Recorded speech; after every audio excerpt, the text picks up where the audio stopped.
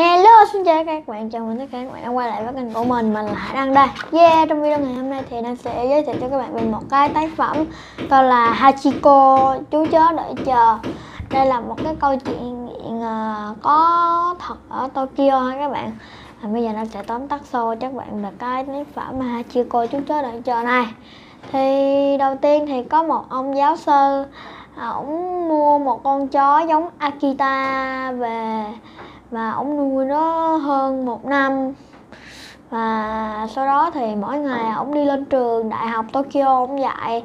Thì ông dặn con chó là, ông nói với con chó là chiều tao sẽ về mà chú mày đừng lo. Cái sau đó thì mỗi sáng thì nó đưa ông chủ tới sân ga và đứng chờ cho đó. Đến trưa sau nó về nó ăn cơm, sau đó nó quay lại nó chờ tiếp. Đến ờ, chiều ông chủ về thì nó cùng ông chủ đi ra công viên chơi và đi dạo.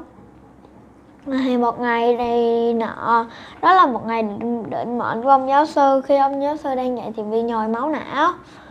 Ông bị đột quỵ và chết. Và con Hachiko không biết là ông chết.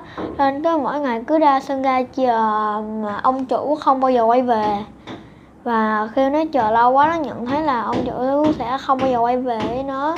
Thì ngày nào nó cũng ra nó chờ ông chủ về. Nó cứ nghĩ là ông chủ sẽ về với mình một ngày nào đó.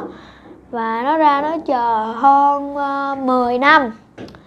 Và cuối cùng thì có một người ờ, nhận nuôi nó. Nhưng mà khi đó con chó nó rất là già rồi thì ờ, tuổi thọ của một con chó Akita tầm 10 nếu mà mình nuôi nó nó tốt thì nó sống được 11 tuổi thôi là cùng. Và khi đó thì khuya hôm đó thì con chó già à, Hachi uh, Hachiko à, vì nó đã quá già rồi mà cộng thêm trời đang rơi tuyết nữa nên khuya hôm đó nó đã chết ở sân ga bởi vì bị bệnh dung sáng.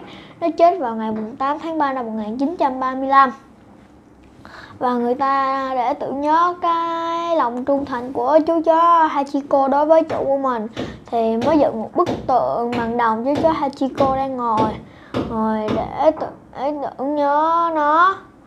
Và người ta lấy một phần của con chó Hachiko trưng bày ở bảo tàng ướp xác của nó để trưng bày ở bảo tàng còn một phần chôn ngay cạnh ngay cạnh mộ của ông chủ của nó và đang chống đang đọc cuốn này rồi thì thấy nó cũng hơi hơi cảm động.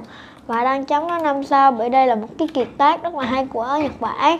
Em khuyên các bạn nên mua cuốn này và đọc để tìm hiểu thêm về con chó Hachiko trung thành. Và đây là phần kết của video rồi. Nếu bạn nào thấy à, video này của đăng hay hãy đừng quên bấm cho một like, một subscribe, một share để mong làm thật nhiều video mới nữa nha. Còn bây giờ thì Hachiko xin tạm biệt các bạn nha.